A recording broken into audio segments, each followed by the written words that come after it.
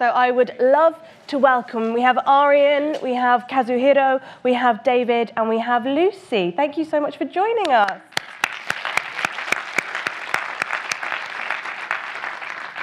Um, could you just, um, just to start briefly, tell us a little bit about your role in the film that you've been nominated for? So I was um, makeup and hair to Gary Oldman, and I applied half the makeup with David and applied the wig and maintained his hair and makeup on set. Great. Hi, I'm David. I was the prosthetic supervisor on Darkest Hour, and I was brought in to oversee, you know, what you see on screen today of Gary with Lucy. Yeah, my name is Kazu. Uh, I did uh, hair and makeup design for Gary Oldman. Yep. Hi, I'm Arjen. Uh, I designed Augie Pullman makeup for Wonder. Great. Um, I think let's get straight into a Darkest Hour clip and then we can talk more about the face that we want to hear about.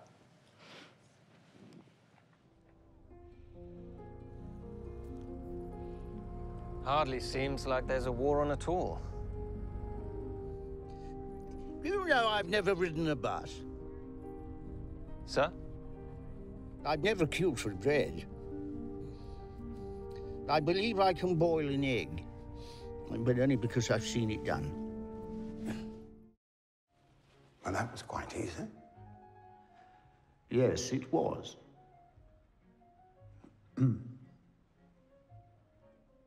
I believe we are to meet regularly.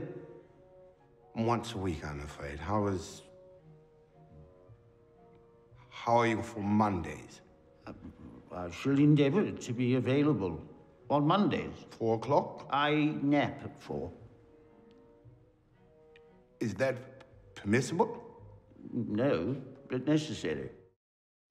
I give you your father, my beloved husband, the Prime Minister. The Prime Minister. Here's to, um... To not buggering it up. Not buggering it up. Collectively, we are looking at the collapse of Western Europe in the next few days. Should the public be told?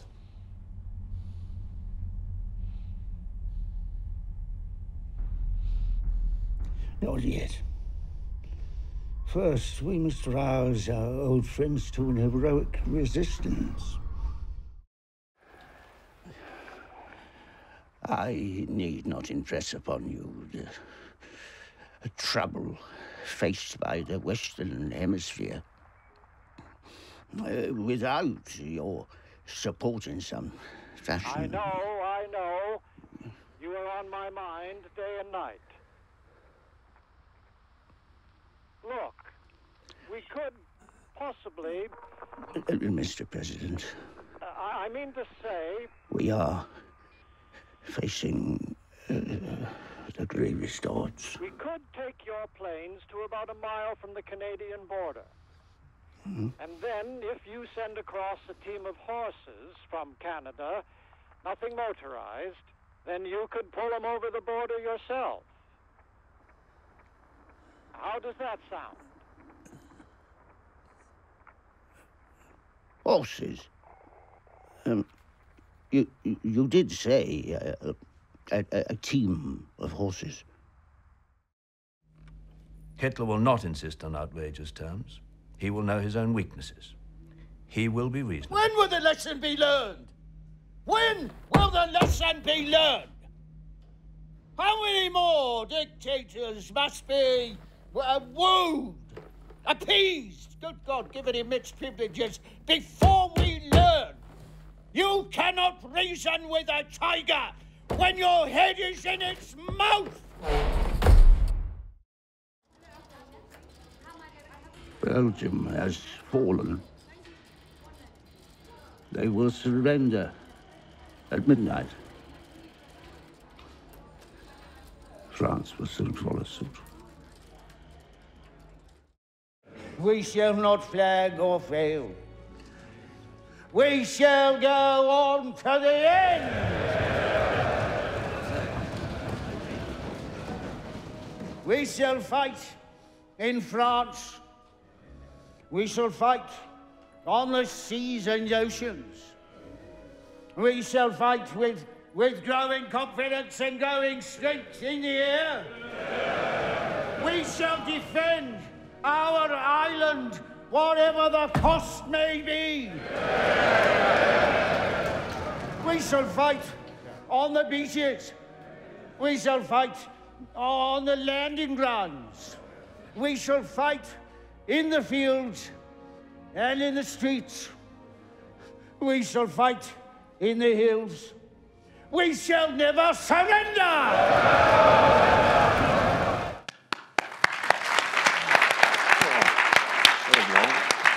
I, I don't even know where to begin with my questions about Churchill's face because it's such a amazing, transformative thing to see.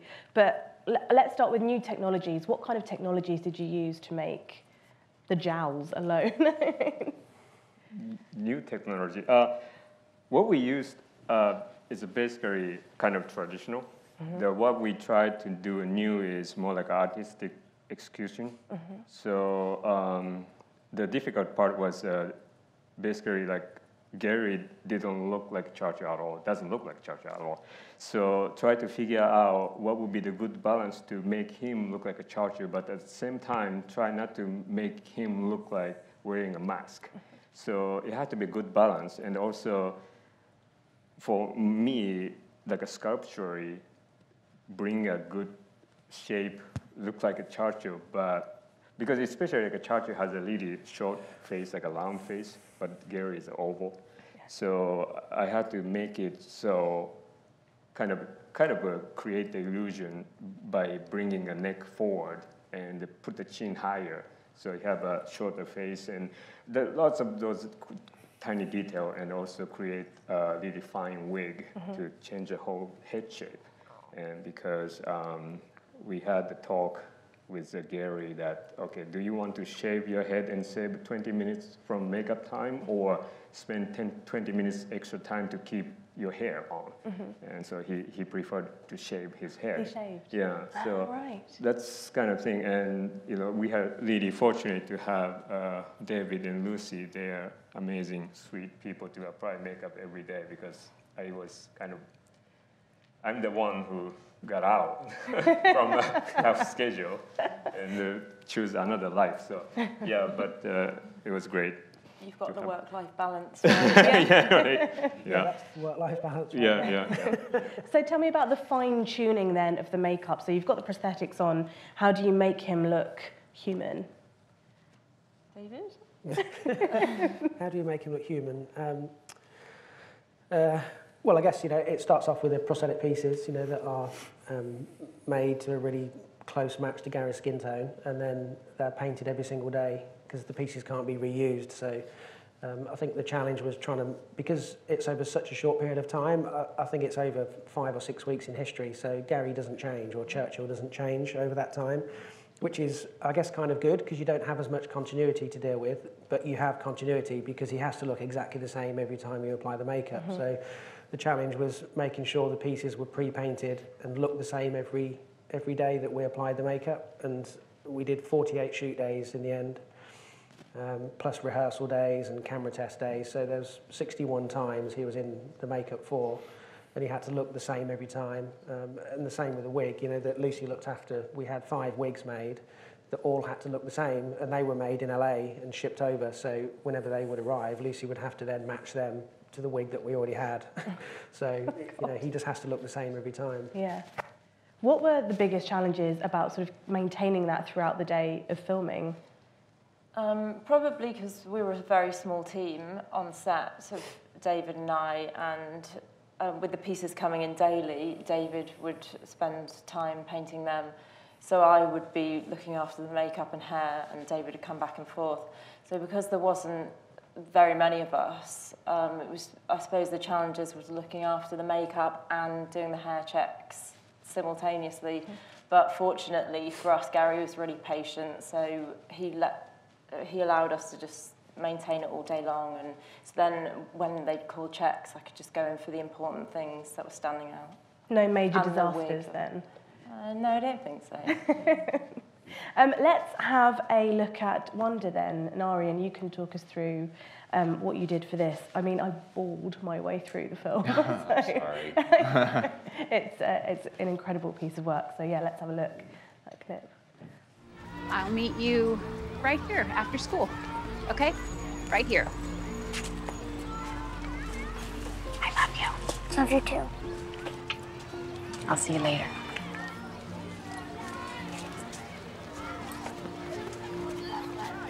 Can you hear me?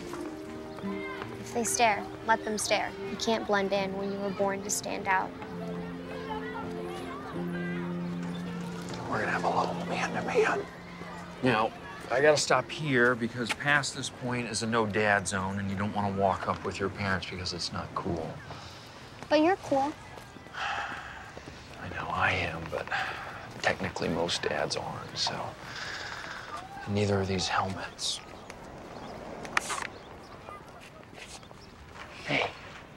Two rules. First, only raise your hand once a class, no matter how many answers you know, except for science. Crush them. Check. Second, you're gonna feel like you're all alone, Augie, but you're not. Check. Should we lose this? Come on. Costumes are for Halloween. Prepare for blast off.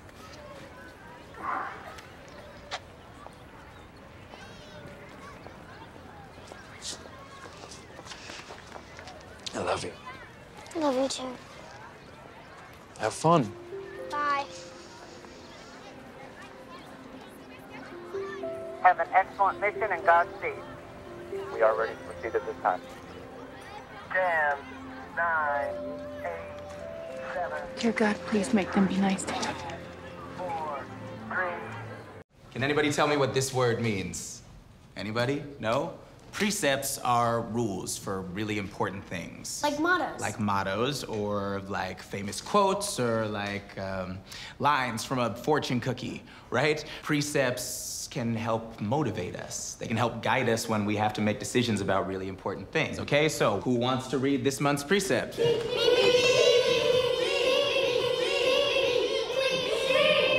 What about you? What's your name? Summer. Summer. Want to give it a shot? When given the choice between being right or being kind, choose kind. Mr. Tushman went out of his way to tell me how sweet those kids were and that Julian is apparently quite the dream. No. Not a dream? Is he one of those kids that acts one way in front of grown-ups and then another way in front of kids? Yeah, I guess. Well, I know it's hard, but you have to understand that he probably feels badly about himself. And mm-hmm. when someone acts small, you just have to be the bigger person, right? Right. Right. Yeah, I'll get the pizza. Look at me, Augie. That kid sounds like a real jerk. If someone pushes you, you push back. Don't be afraid of anyone. Why are we whispering? Because I'm afraid of mom. You just gotta be a bigger person and rise above it. It's that easy.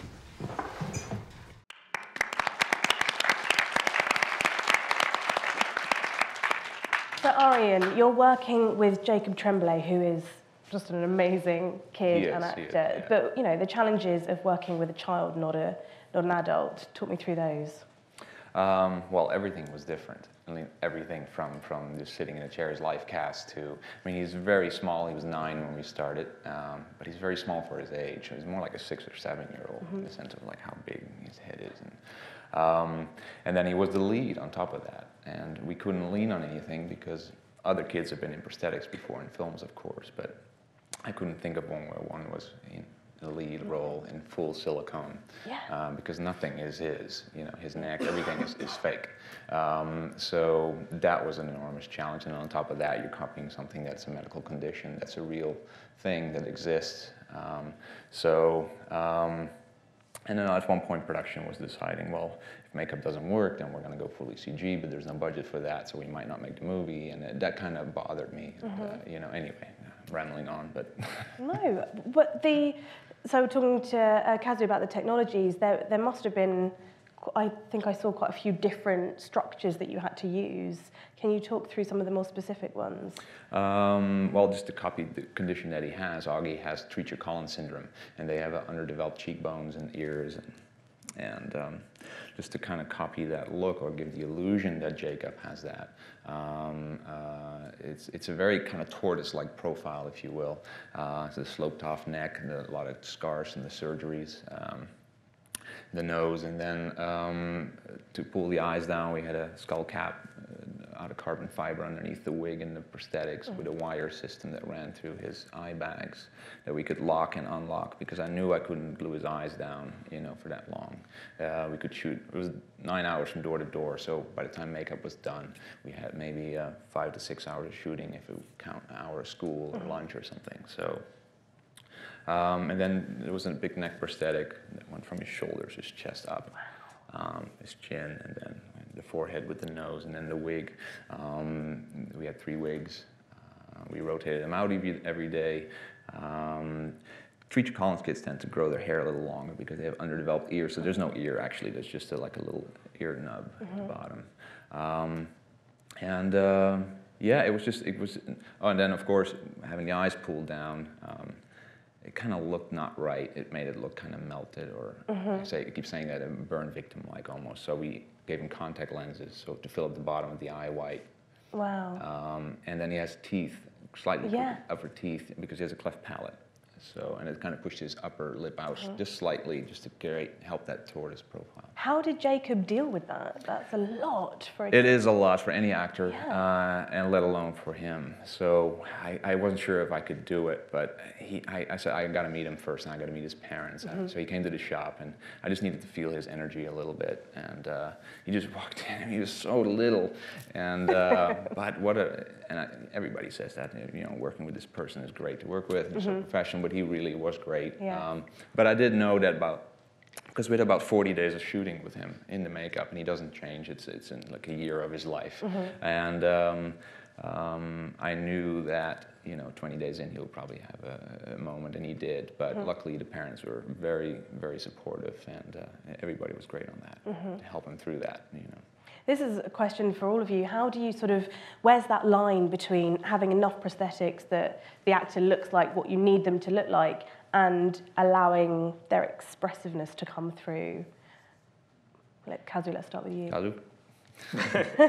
yeah, uh, I think it's just the balance of what is needed and what is necessary, and also the condition of the actor's fa- skin. Mhm. And you know, if uh, actor is young, it's kind of easy. I mean, when skin is so tight, the expression transfer really well to the surface. But as actor get older, you know, like I'm getting old and this, the skin slide around on surface, and if I put the piece on it, Mhm. it just doesn't move, and the, the edge start to show up. Mhm. So according to that, um, sometimes we have to decide the, uh, where the edge ends to the area that almost like kind of risky, Mhm. you know, right in the center of the cheek and something like that. So it's really depend on the case by case. So um, we have to do a test and figure out what would be the best answer.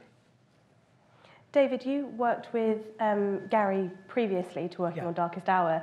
Does that make a difference? Do you, when you have a bit more of a connection with an actor, is there more trust there? Um, yeah, I guess so. It's, because when Gary first asked me about Darkest Hour, and I knew that it was going to be the most intense job I'd taken on, it was quite nice knowing that I'd worked with Gary. And when I finished on that, it was Hitman's Bodyguard that I did. Mm-hmm. And as soon as I finished, I wanted to work with Gary again straight away because we just got on so well together. We only spent a few weeks working together, but we have a similar sense of humour and you know, which goes a long way when you're sitting in a chair for four hours Yeah. every day for several months. Um, you get to see people in, you know, I guess in their highs and their lows, but just stuff that's going on in their life and on the production and stuff like that. So I think it's important to be able to get on with them. Um, it's similar to why I brought Lucy on as well, you know, because I just knew, having worked with Gary, that Lucy and Gary would get on. I knew that we would get on, and it just kind of worked really well. So yeah, and you know, with their, you know, our days were 18 hours a day, you know, at least. Um, So when you're with someone that amount of time, you, you really want to be able to get on and Yeah. there not to be any tension. There was every now and then because it's just a difficult job, but Yeah, of course. you know, 99% of the time I think we all got on, didn't we? He's like, yeah, yeah. yeah. um, is there a particular film that you've seen this year that you've really noticed and admired the prosthetics and the makeup on? Yeah, Wonder. Darkest Hour. That's it is, such a love it. um, you know, could you kind of see, are you sort of looking at the prosthetics? Are you looking at, you know, what Irene was talking about in Wonder? Are you just sort of, I think when a makeup's done that well, you watch something and you forget that it's makeup. Well, Mhm. hopefully. Yeah. So, but I think as makeup artists, you always watch something and you just scan the whole time, and it, I think you're just trained to do that after a while. But yeah, is that the same with you? Were you sort of looking at Churchill's jowls going, how did they do this? Or Oh, sure, sure. But it's also like you just enjoy the work, you know, Mhm. and you forget that it's makeup. Yeah. That's, I think, um, a compliment. Uh, Yeah, uh, absolutely. All of the work. But um, yeah, no, I, I enjoy seeing so many films. But yeah, Dark Tower is amazing. Um, I'm going to open it up to you guys now. So if you have any questions, we have got a mic, so please put your hand up and wait for the mic to come to you. Yes, gentlemen in the middle here. Uh, Hello. Firstly, congratulations o- uh, on all your work and the nominations. Um, I started in the mid '90s at Jim Henson's when every all the prosthetics were shot on on film. Uh, as things have moved into sort of 4K and, and HD and so on, I know Darkest Hour was shot on film. I'm not sure Wonder was not shot on film. Sorry, I didn't hear you. Was Wonder shot on film? I forget. No, Sorry. HD. HD. So, how much does the uh, has the shooting format over the years uh, informed your decision makings in terms of technically? Um, well, I remember the first four, four days or so shooting with, with Augie. Um, we matched the silicone to the skin stone uh, just to help cut makeup time because, again, we have only an hour and 15 minutes to get it on him. Uh, but um, when I saw the dailies, this type of camera they were using, it was very, they pulled out a lot of red, more red in digital, I would say, that pull out. And uh, so we upped that. Um, uh, on top of that, on, in case of Augie, um, I knew like lace eyebrows, it wouldn't work. So they're all individually punched in for each set every day um, because I knew that would show up. You can maybe get away with that on an adult because there's texture and color and speckling, but not on a kid. So just, I guess, more the fact that I was working with a nine-year-old, I had to battle some more, I guess. But I guess it counts for them as well. You know, it's uh, it, it pushes everybody, I would say, to you know pick certain laces or colors or yeah, less makeup-y, I would say, painting and Thank yeah. you. Oh, and I, I think it's also the the creativity around lighting as well. So as much as you might have, whether it's shot on film or 4K or 8K is what they're doing now, which is insane. Um, you know, on Darkest Hour, if you've seen the entire film or just from those clips, you can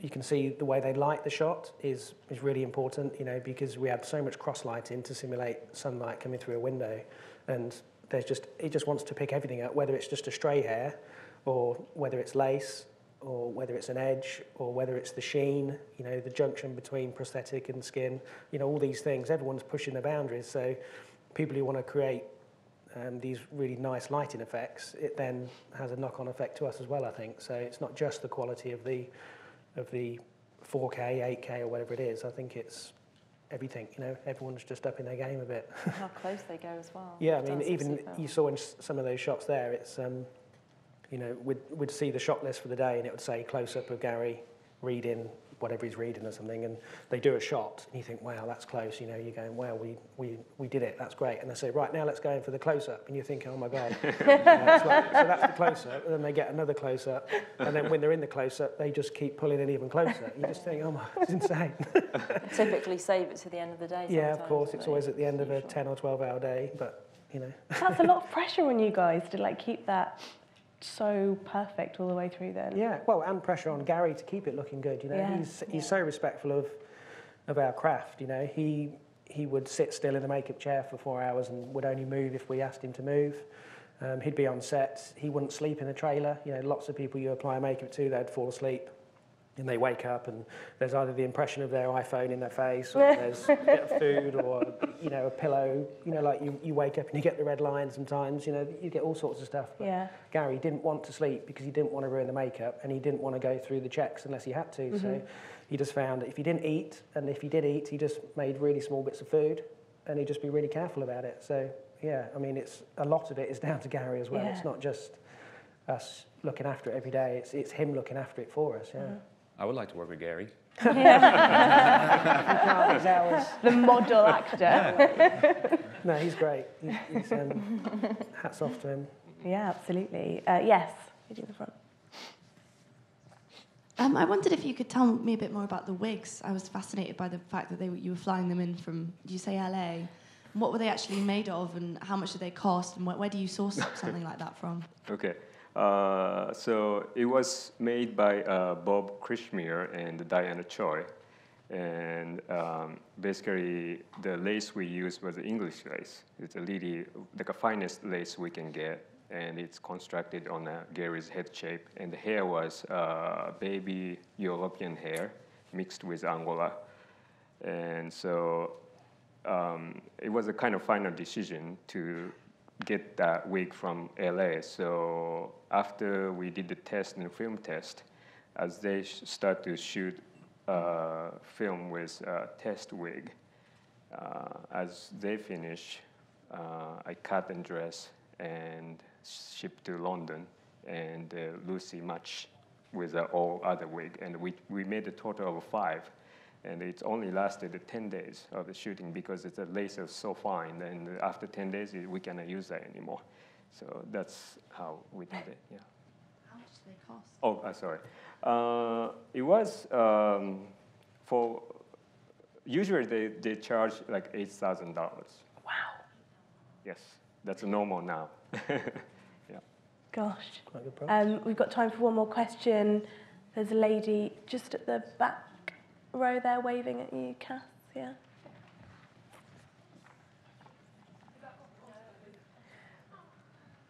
Well, let's squeeze two in. Let's squeeze two in. Hi, I just want to ask what are the challenges on working with um, faces and skin that have Botox and fillers? That excludes the actor in Wonder, because obviously I don't expect a nine year old. Hopefully, Jacob hasn't any fillers or anything. That's an interesting question. Yeah. Have you worked on actors fair, that I have don't think Gary had Well, much either. Unfortunately, a lot of the actors uh, have contractual stuff. mention any names of the actors. Right. I just want to know the challenges on, uh, you know, the differences between working on, on skin and faces that don't have Botox and fillers, and then you have actors' faces that have Botox and fillers. Um, shall I just answer that one? Yeah. Yeah. um, I've worked with an actress that, that I remember we did a live cast and then did the pieces for, and then when I arrived on location, it had done something, and it wasn't quite m- matching up. It was very subtle, but just because of the light catching it and the texture for what she had done, uh, I had to resculpt it last last day, like two days before shooting in the hotel, and remold it, and you know. Uh, but I don't know. I mean, they don't always tell you, and there's often contractual agreements between that, uh, and I can't talk. That they can't do it. Yeah. Um, right. Sorry. I, just, I, I can't really answer that for me. I don't know. Maybe they have a better question. just a last quick question. Go on. Hi. Um, yeah, I'm just it's to everybody. I'm just curious to know for both Wonder and Darkest Hour, how long did you have from live cast through to the first day shooting to perfect the looks that you both executed? Yeah, uh, I, I was lucky. Um, so we did the live cast in end of June in 2016, and I did it, the first three test makeups, three different versions, after two months, after two months after the live cast, and then refined that version, and I spent another month to do uh, two other ones, and the fifth one was a kind of close to the final and that was in, all in LA, and shipped that mold and everything to London. Actually, mold was shipped to Spain because we had to hire DDT to run all pieces for the filming.